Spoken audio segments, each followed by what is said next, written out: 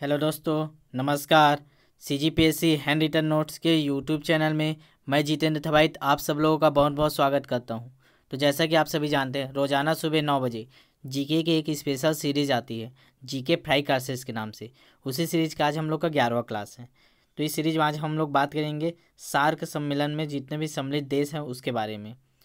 इससे पहले वाले वीडियो में हम लोग ने जी एट देशों के बारे में बात कर चुका है। अभी तक आपने वो वीडियो नहीं देखा है तो जाकर प्लेलिस्ट में वीडियो देखिए और वीडियो ज़्यादा से ज़्यादा शेयर कीजिए और चैनल को सब्सक्राइब कीजिए। तो चलिए देखते हैं। सार्क देश में सम्मिलित देश। तो इसको ट्रिक के माध्यम से याद करेंगे हम लोग। तो क्या ट्रिक क्या याद करना है? एम बी बी एस पीना। कहीं भी सार्क देश आए मेंस में लिखना हो, कुछ भी में कहीं भी उल्लेख करना हो तो सार्क के लिए क्या याद करना है? एम बी बी एस पीना। ठीक है? अब एम बी बी एस पीना तो याद कर लिए। तो एम बी बी एस पीना का फुल फॉर्म क्या क्या होता है आप देखिए। एम का मतलब मालदीव, बांग्लादेश, भूटान, श्रीलंका, पाकिस्तान, ठीक है? इंडिया, नेपाल, अफ़गानिस्तान। ठीक है, अब याद कीजिए, चलो साथ ही साथ बोलिए।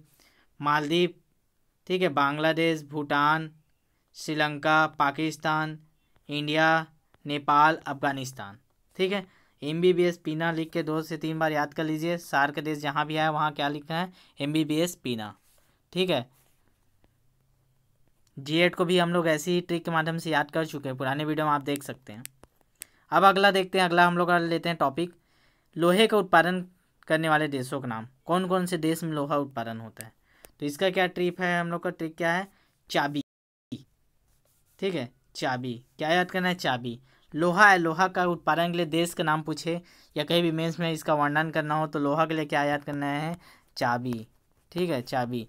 चाबी में क्या है? सी एच का क्या है? चाइना। ठीक है? ए का क्या है? ऑस्ट्रेलिया। ठीक है? बी का क्या है? ब्राज़ील और आई का है? इंडिया। इतने देशों में क्या है? लोहा का उत्पादन करने वाले देश हैं। ठीक है? China, Australia, Brazil, India. चाबी। China, Australia, Brazil, India.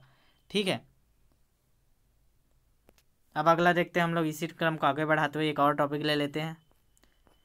Ganga नदी के किनारे बसे प्रमुख नगर। ठीक है? अब इसको देखें, गंगा नदी के किनारे कौन कौन से नगर बसे हैं? छोटा छोटा एग्ज़ाम में इसको हमेशा पूछते हैं वन डे एग्ज़ाम में, कि इस नदी के किनारे, गंगा नदी के किनारे निम्न कौन सा शहर बसा हुआ है? तो क्या याद करना है ट्रिक हम लोग का? काना बाप हवाई वेग से भागा। गंगा नदी के हमेशा याद करना, दो से तीन बार लिखेंगे, याद हो जाते हैं। गंगा नदी क्या है? काना बाप हवाई वेग से भागा। काना से क्या है? कानपुर। ठीक है, ब से क्या है? बक्सर। प से क्या है? पटना। ह से क्या है? हरिद्वार, ठीक है? और वा से क्या है? वाराणसी, ठीक है? ई से क्या है? इलाहाबाद। और वेग से क्या है? वेग से क्या है? तो बेगूसराय।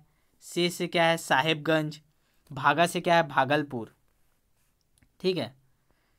तो इसको ट्रिक के माध्यम से याद करना है। काना बाप हवाई वेग से भागा। ठीक है? एक बार और देखते हैं क्या है? गंगा नदी के किनारे। काना कहाँ से? कानपुर, बक्सर, पटना, हरिद्वार, वाराणसी, इलाहाबाद बेगूसराय, साहेबगंज, भालापुर। ठीक है? तो आज के लिए इतना ही। नेक्स्ट कल मिलते हैं। वीडियो कैसा लगा कमेंट में बताइए।